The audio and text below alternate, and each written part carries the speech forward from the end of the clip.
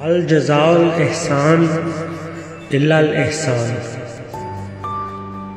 सूरत रहमान में अल्लाह ताला फरमाता है कि क्या एहसान की जजा कुछ और हो सकती है सिवाय एहसान के?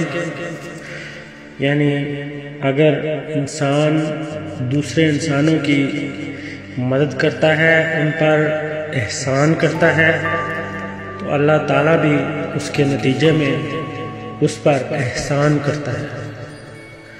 और जब इंसान अल्लाह ताला की ये बात मानता है, खिदमत खलक करता है तो वो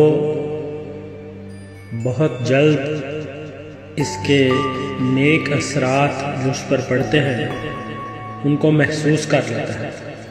और इस वजह से ईमान में तरक्की करता जाता है।